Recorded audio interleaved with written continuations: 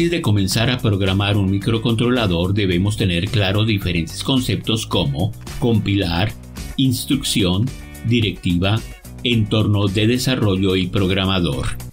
Entonces veremos primero qué es el proceso de ensamblar o compilar. Sabemos que todos los microcontroladores y microprocesadores trabajan de manera binaria, es decir, que todo lo que el dispositivo recibe del exterior o entrega al exterior está representado únicamente en ceros y unos. De manera que un programa en realidad es una compleja y muy extensa serie de ceros y unos que deben ser registrados de manera estricta y dentro de un formato muy especial sin cometer ningún error. Cuando se usaban las primeras computadoras, esta era la manera de programar y también de recibir la información final procesada por el sistema. Este lenguaje usado para comunicarse con el computador es llamado lenguaje de máquina, aunque era muy complicado de usar y frecuentemente se cometían muchos errores.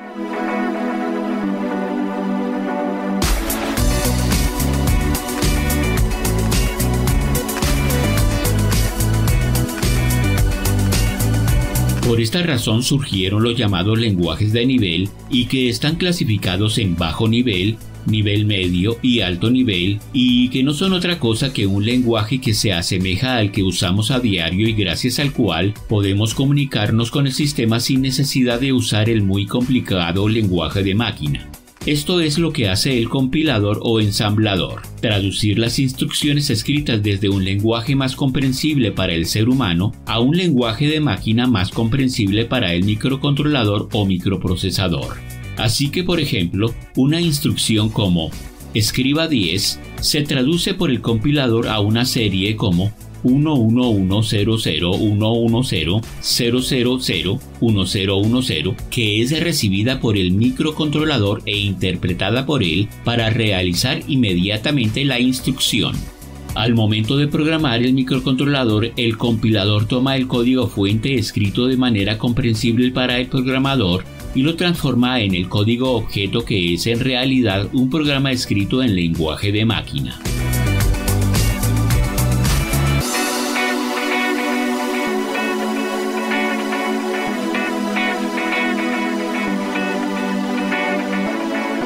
Existe una multitud de ensambladores para la inmensa cantidad de microcontroladores y microprocesadores de todas las generaciones que vemos hasta el día de hoy, pero para nuestro proyecto particular vamos a utilizar el ensamblador de microchip denominado MPASM y con el cual podemos ensamblar nuestros proyectos y programar los PICs para nuestra serie de herramientas inteligentes para el taller. Entonces una instrucción es una palabra muy especial y única con la cual le ordenamos al microcontrolador y a través del programa qué acción queremos que éste realice dentro del sistema. Por ejemplo, y como lo vimos en el anterior video con la instrucción MOV, podemos hacer que el microcontrolador mueva un dato de un registro a otro por ejemplo, del registro W a uno de los puertos de salida del chip o, como lo vimos con la instrucción BSF, podemos hacer que éste escriba un 1 dentro de un puesto específico y en un registro específico. Entonces, esto es lo que se denomina una instrucción.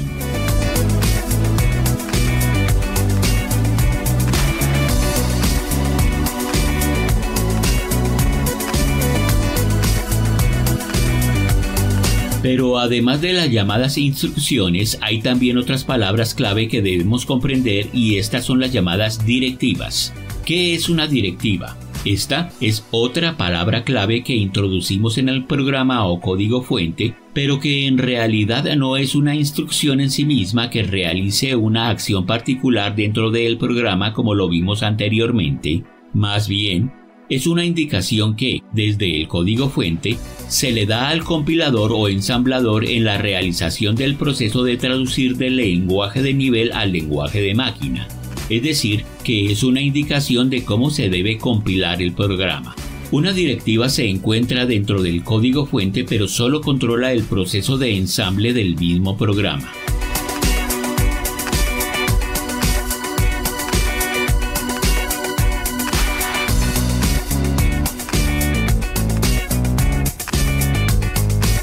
Para entender más claramente veremos qué sucede con la utilización del punto y coma, la cual es utilizada para poder introducir comentarios en el código fuente. Estos comentarios son de gran ayuda para la comprensión del programa por parte de terceros o para definir de manera clara los diferentes segmentos de la dinámica del mismo.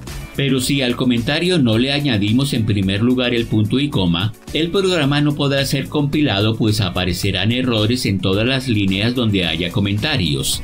Es decir, que colocado el punto y coma, el compilador simplemente hace caso omiso de todo lo que encuentre en la línea después de este y el programa sí puede ser exitosamente ensamblado. Así que el punto y coma se comporta como una directiva para el ensamble del programa y aunque hace parte del código fuente, no hará parte del programa objeto grabado en el chip, pues al momento de ensamblar se omiten tanto el punto y coma como el comentario.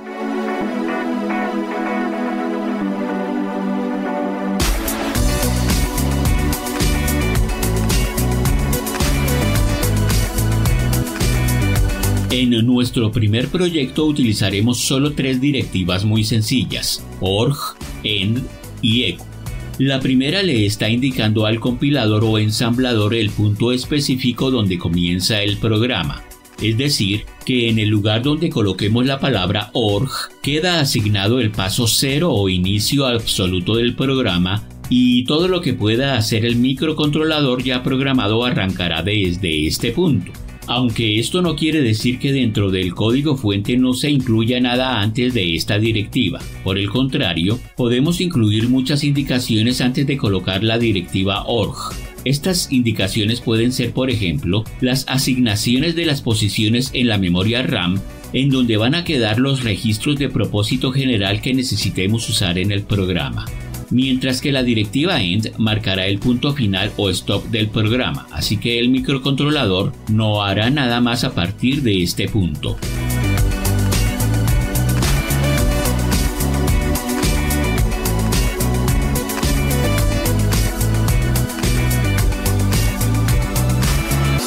Estas dos primeras directivas, org y end, marcan pues el inicio y el final del conjunto total de instrucciones ejecutables dentro de la aplicación específica o función específica desempeñada por el microcontrolador. Este no hará nada que se registre por fuera de estas dos directivas, mientras que la directiva EQ se incluye antes de la directiva ORG para indicarle al microcontrolador, por ejemplo, en qué posiciones de memoria están los registros que se van a usar para el funcionamiento del programa, tanto los registros de propósito especial SFR como los de propósito general GPR.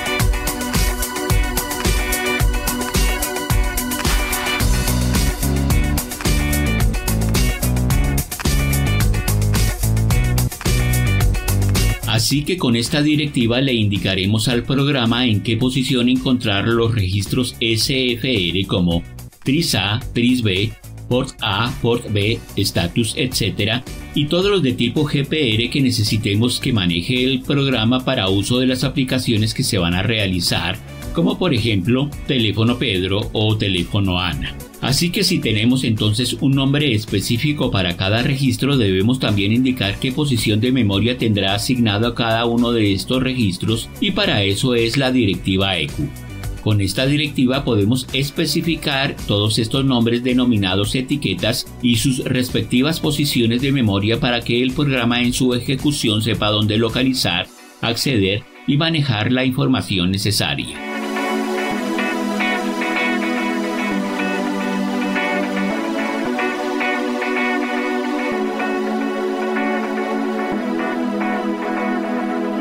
Entonces para indicarle al programa, por ejemplo, la posición específica del registro status, debemos indicar primero su etiqueta o nombre, status, después la directiva y después la expresión que corresponde a la posición específica de memoria, por ejemplo, status EQ03H. De esta manera, al realizar la instrucción que vimos en el anterior video, BSF status, 5, el microcontrolador dentro de la ejecución del programa sabrá que tiene que ir inicialmente a la posición 03H de la memoria y dentro de la cual debe colocar un 1 en la posición 5 del Word status. Si no escribimos la instrucción de manera correcta, por ejemplo, si olvidamos colocar la coma, en el momento de compilar el programa nos aparecerá un error de sintaxis que nos indicará en el número de línea que la instrucción no es ejecutable y el programa no será ensamblado.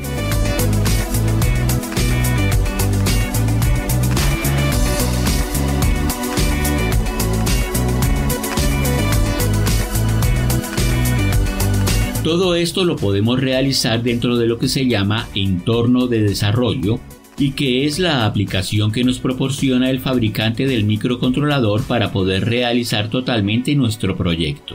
El entorno de desarrollo nos proporciona las herramientas necesarias para editar, guardar, reeditar, agrupar, simular, ensamblar y programar los microcontroladores con nuestros proyectos.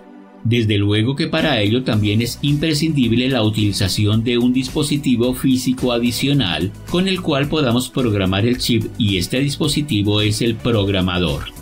En nuestro caso vamos a comenzar utilizando el PCKit 2. Si realizamos correctamente el programa, el compilador generará dentro de la carpeta de nuestro proyecto un archivo .exe que será el que carguemos en la aplicación PCKit 2 para realizar la programación del microcontrolador.